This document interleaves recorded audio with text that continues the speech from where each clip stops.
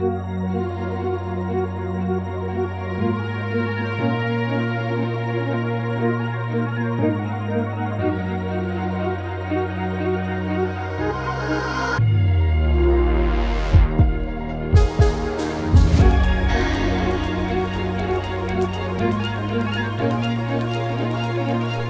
good morning, ladies and gentlemen, and thank you for joining me for another first ride review.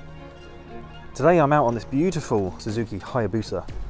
So, I haven't ridden the previous two generations of Hayabusa, so this is all new to me. So, that's what this video is going to be about um, the opinions and views of somebody that's never ridden a Hayabusa before. Looks wise, um, I'll have to admit, I didn't particularly like the look of this when I saw pictures and videos of it, but like many things in the flesh, I think it actually looks okay. These exhausts are bigger than some islands that we have in the UK, but apparently they're two kilos lighter than the uh, previous generation. That's very clever engineering. So let's throw a leg over and carry on. So before I throw my leg over, actually, let's just give you a sample of the noise. The dash starts up there, very nice. Analog clocks, which is a thing of beauty. One touch start, very nice. It being Euro 5, it is, of course, not very loud.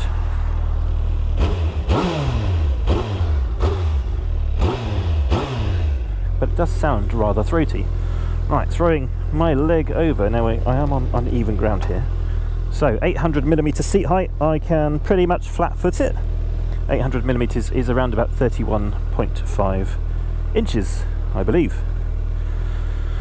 Uh, 20 litre fuel tank, so good enough for a bit of touring if that's your thing um, right so let's uh, let's get going shall we talk about this lovely lovely machine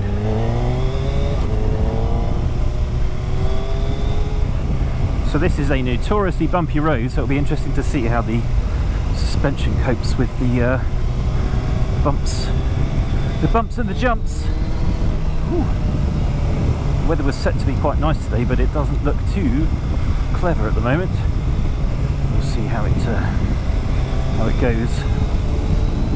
Right, so let's talk about the engine. That 1,340cc inline four, and it makes 100 and, 187 horsepower at 9,700 RPM and 150 newton meters of torque and that's at 7,000 RPM. And the bike redlines at 11,000 RPM, so kind of know where it's at in the rev range. As I said, brakes, those uh, Brembo Stylemas, which need no introduction, they are absolutely brilliant. And those bite down onto 320mm discs and at the rear we have a single piston caliper. I don't know the size of the disc, they don't actually quote that in the uh, spec sheet. But um, yeah, we'll uh, talk about the brake performance in a bit. Suspension, we have Kayaba 43mm upside down forks up front, and those are fully adjustable and a link type shock at the rear, again fully adjustable. We have 120mm travel at the front and I don't know how much at the back because they don't quote the figures. As I said, 20 litre fuel tank. The bike weighs 264 kilograms fully fueled and ready to rip. so this is my first ride in anger. I did pick this bike up from uh, Suzuki, which is in Milton Keynes, about an hour and a half away from me, but I rode it in the pouring rain on the M25, which was um, not very fun, I'll be honest, but uh, actually the bike was uh, very well mannered. So let's talk about electronics. And you know what, there's so much electronic trickery on this bike that um, you'll have to forgive me if I forget something because there is just so much to remember. So it's got a six axis IMU. so that means lean sensitive traction control, ABS, we have launch control, we have cruise control, we have hill hold control, we have lots and lots and lots of goodies. It's got uh, wheelie control, it's got uh, rear wheel lift control which basically stops the rear wheel from lifting if you're going downhill and braking rather in a, in a rather spirited fashion shall we say These roads are a bit wet. Uh, actually, the suspension's doing a pretty good job, to be fair. I was expecting it to be really crashy, and it's not. Uh, yeah, so going back to electronics, it's got, like as I said, six axis everything, which means, you know, all those good bits and bobs. Uh, riding modes, you've got uh, three main riding modes, A, B and C, which, I don't know if you can see that on the dash, but I'll stick some B-roll in. Uh, A being active, B being basic, and C being comfort. Looking at this bike, it's extremely long, uh, 2,180 millimeters or 86 inches there or thereabouts. Um, yeah, it's. Um, I kind of thought going this way. I think we are going this way. Uh, that it would be really cumbersome and only good in a straight line. I mean, it is ridiculously fast in a straight line, of course.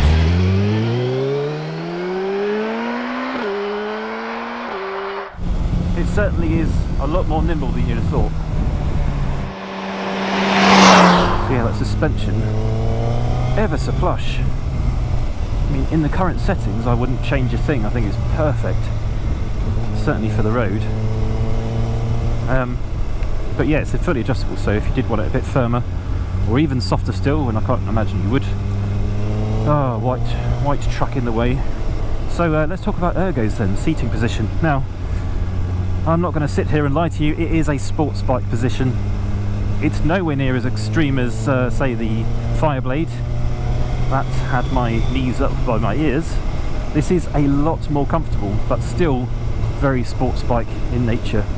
Uh, but this year they've brought the clip-ons 12 millimeters more towards the rider over the previous generation, and that's just to be a bit more comfortable for you. Um, seat is very comfortable, no complaints so far and actually riding it back on the motorway. I didn't have any issues with the seat.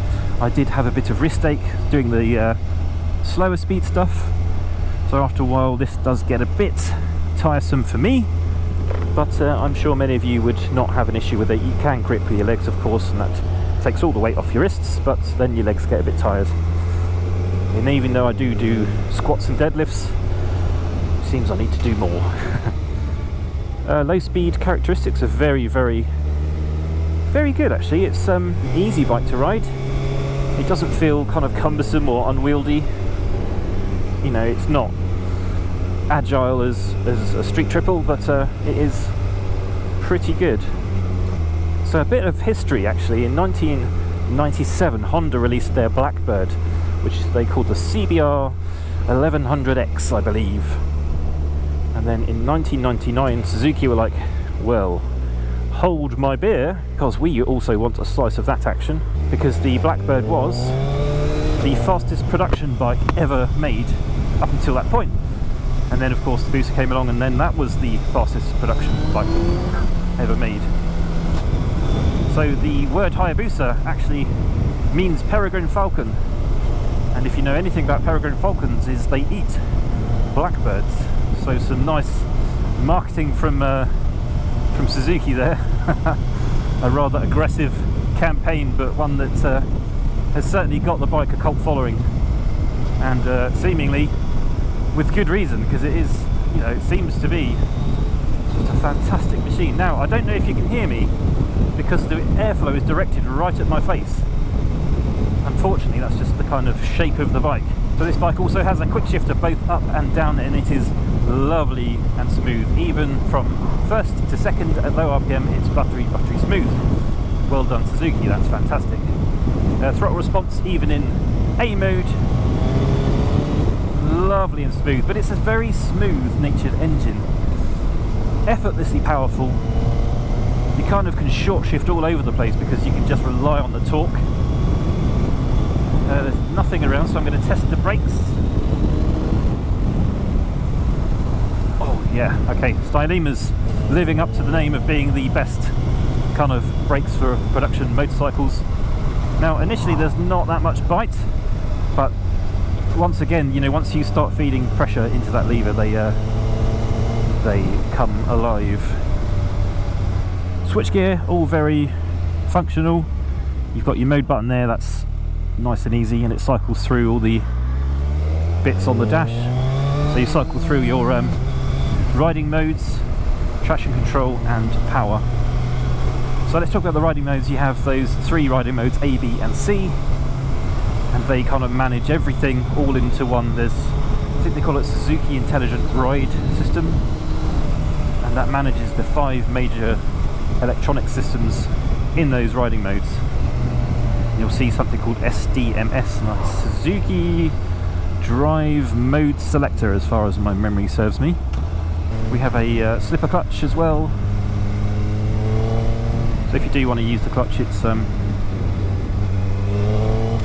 it's not the lightest clutch, it's hydraulic, but uh, it does work very, very well. We have adjusters on both levers, which is good.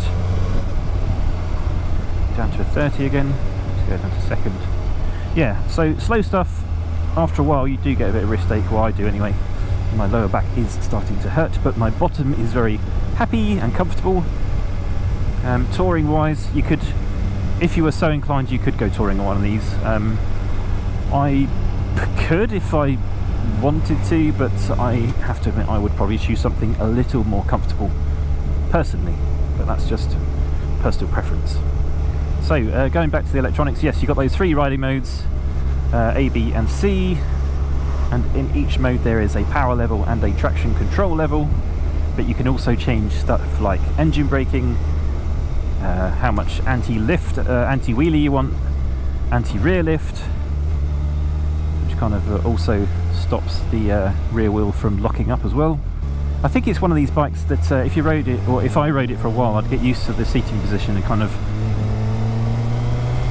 work those muscles that I don't usually work on a more upright motorcycle. We've got cruise control, there's a little set button over on the right there, which is nice and easy to get to. I mean, you can feel the weight but it's nowhere near as bad as you'd imagine at 264 kilograms.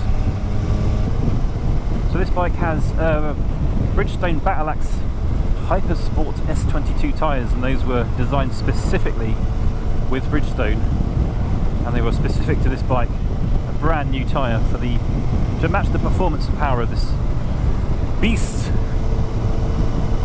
it has an all aluminium frame it has a 50-50 weight distribution just to make things lovely and balanced.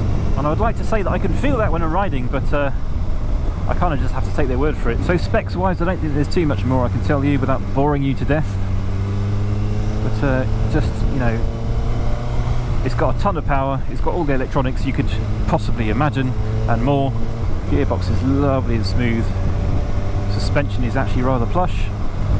Firm but plush and uh, it's just like I said I'm going to keep saying that word it's just effortless to ride so top speed of this bike is an alleged 186 miles an hour and that's a very specific number because the Japanese and European manufacturers kind of got together and decided instead of facing some bans they decided to limit the uh, output of their bikes because bikes were kind of being scrutinized at the time back in the back in the 90s some of them just had ridiculous amounts of power. I mean, what 186 miles an hour isn't exactly slow, is it? It's pretty ridiculous already. It's just so easy. It's so stable in the bend. Like mid-corner it just uh, needs no other inputs. You put it where you want to go and it just goes there.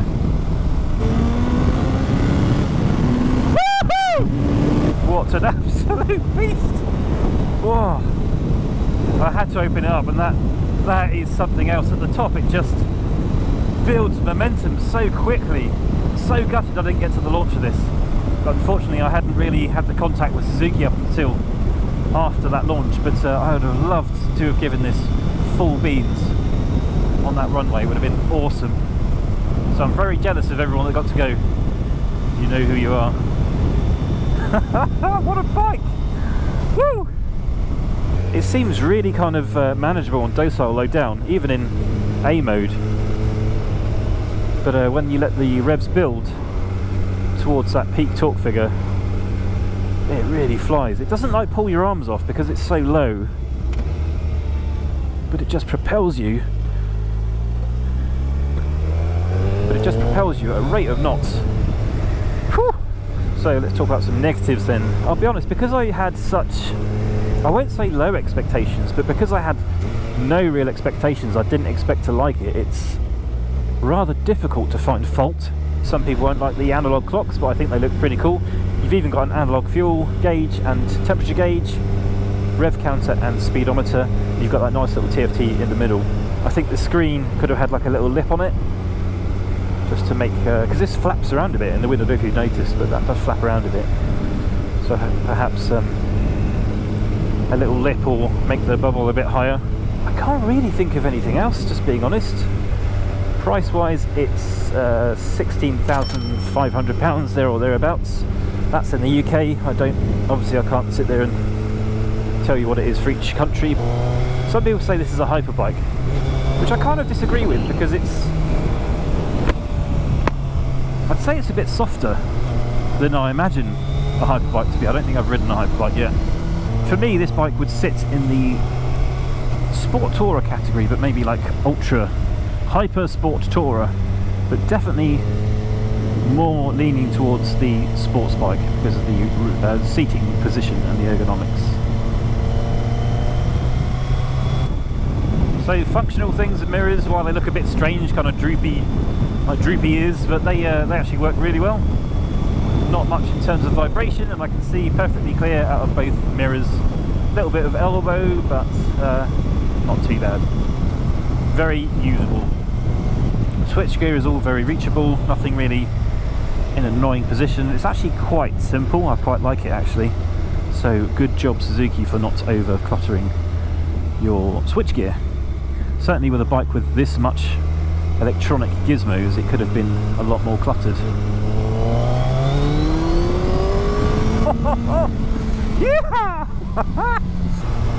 so uh, my buddy Rob rode this bike kind of before I did actually and uh, it was actually good to see someone else ride it because it uh, made me realise how good this bike looks on the road and I quite like the uh, chunky rear end. yeah, the good thing about this bike is uh, it makes overtakes so easy. So, so easy. So, GS Rider, will he nod? He did! There you go! Proof! GS riders do nod at other bikers. And I'm on a Hayabusa, so he should absolutely despise me, right? Yeah, so slower stuff, the bike is not all that comfortable. I've got lower back pain and wrist ache, but my knees, surprisingly, hello, um, are very, very comfortable. I don't know if that's something that would last. I dare say it wouldn't, but uh, yeah. And I know everybody's going to say, well, Dan, you should be gripping the tank with your legs, and I agree, but I can't do that all the time because I'm not an Olympic athlete. what a bike! Gentlemen, it's actually rare to see workers work during the day, right? It's uh, somewhat of a rarity. What a bike! What an absolutely bonkers, yet perfectly rideable machine. Kind of makes you just feel like a bit of a god, really. Had the front wheel lift a little bit, but uh, it being so long, kind of has this natural anti-wheelie built into the design. Whoa! Just a rear wheel spin there, some gravel, bit of spinach. Right, we're at Lumi's, time for a cup of tea. How very British. Hope you have enjoyed the video guys. If you do go out today, do ride safely, but remember to have fun, of course. Don't forget I'm on Patreon, link will be in the description. Uh, but as always, take care until the next one. Peace.